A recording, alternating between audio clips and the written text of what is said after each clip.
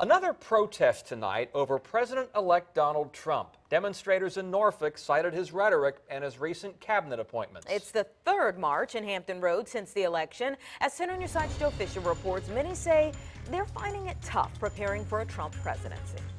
No Trump, no KKK. Condemning racism and promoting inclusiveness.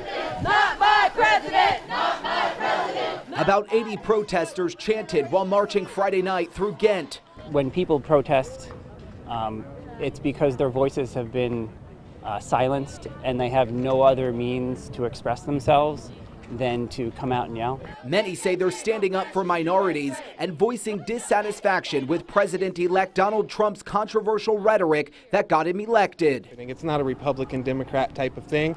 It's that somebody who most Americans feel is a terrible human being mm-hmm. is now the leader of our country. The nonviolent protest was sponsored by the Hampton Roads Justice Network, an anti-oppression group.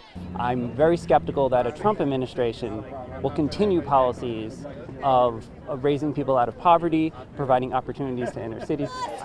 Whose streets? Our streets. Whose streets? Many people holding signs as they made their way down Colley Avenue. Also, it says, hand over the toothbrush, Trump. It's a joke that um, we leftists have where people think that socialism is going to make everybody share a toothbrush. Some people question the protesters' purpose. And I don't think the protests around the country breaking windows and stuff's really helping out at all. I think it's more dividing people. The election might be over, but these protesters say they won't tolerate Trump. He can't ignore us. He's going to have to deal with the will of the people.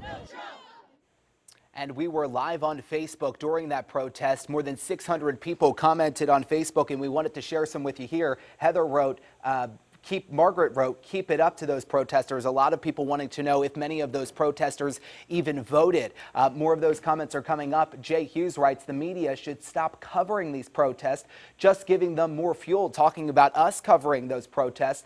And as they continue, Brian writes, not a Trump supporter, but what are these people hoping to accomplish? Even if your end game is to do away with the Electoral College, it's not going to change the results of the past election. Again, more than 600 people weighing in on Facebook. We want to hear your opinion too. Head to our Facebook page, Wavy TV 10, where we're monitoring those comments right now. I'm Joe Fisher, 10 on your side.